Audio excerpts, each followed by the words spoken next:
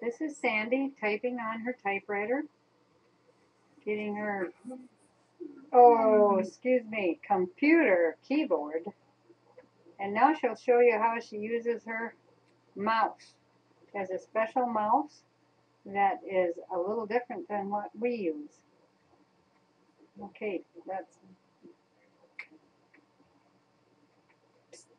Do your mouse. Hurry up before I run out of stuff.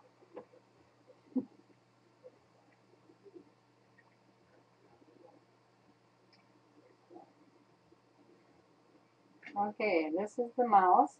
It's a special kind and she can she can make it work. It's got the right click, the left click, and the middle part is the is is how you move the cursor around. So that's how Sandy types. See the holes on the keyboard?